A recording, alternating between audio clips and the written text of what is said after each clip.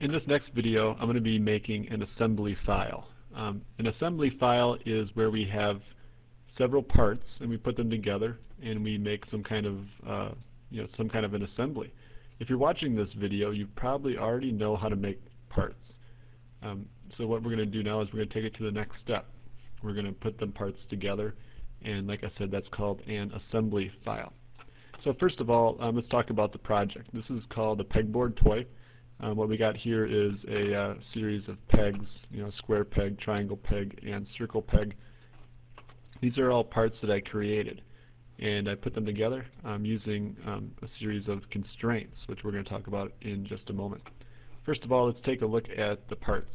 Um, I made the I made an end piece, the actual pegboard, the round peg, square peg, and a triangle peg. And this is going to be sort of the finished product where we have um, you know all these pegs together um, in one where they where they work um, you know functionally. So the first thing we need to do is to create a new assembly. And in assembly, um, this is sort of our blank canvas here. There's a few buttons that we press you know quite a bit. The first one is going to be place.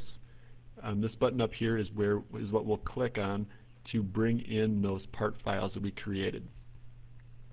The second one that we're going to be pressing, which isn't highlighted right now, is called constrain. And what constrain will do is it, it will allow pieces to um, come together, to touch, to uh, move um, in certain ways. So these two buttons we're going to use quite a bit. First of all, I'm going to I'm going to press place here, and that will allow me to browse my computer and find the files that I'm about to um, import. And here are the, um, here's my pegboard toy folder. I'm going to open that up. And here are all the files that I created, my triangle, square, round peg. It's all back together here.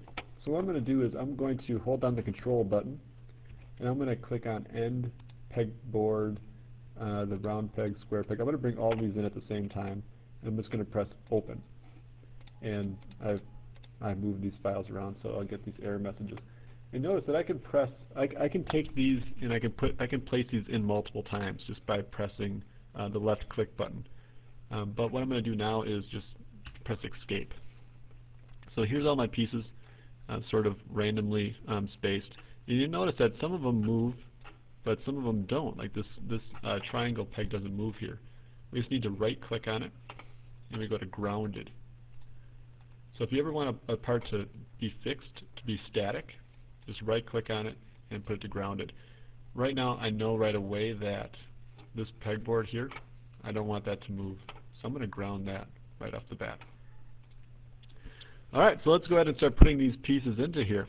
It's a little bit um, tricky at first, but once you get the hang of it, it's, it's not bad at all. So I'm going to start off with the easiest one, which is this circle peg. To do it, here's that constrain button.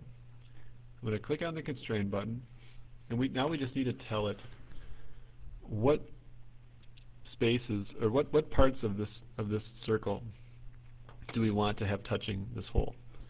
So to do it, we're gonna we're gonna line up the center point of this of this dowel of this circular peg.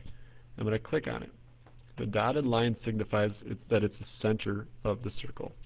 And we're going to have this dotted line, we're going to constrain that to the center of this hole. And there again you can see the, the um, dashed line.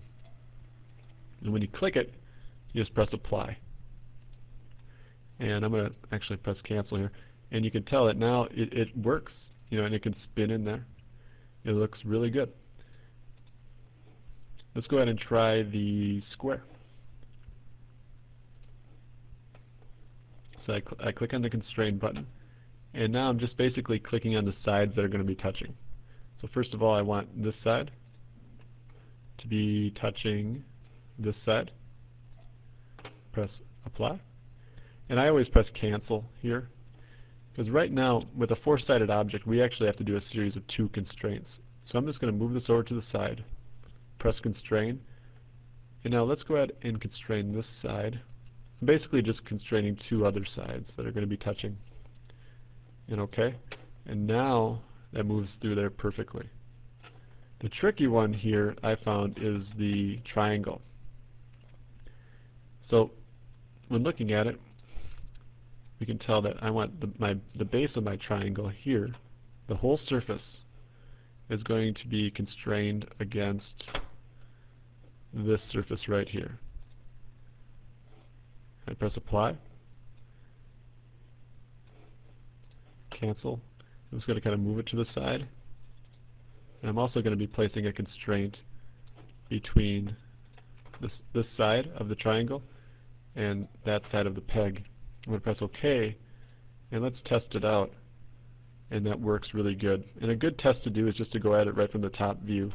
And you can tell that there's no gaps, because sometimes what happens is the pegs will be too big or too small, and they won't fit in perfectly with those holes. So that's the end of part two of this, or part one of this video. In part two, I'm going to be adding on the sides.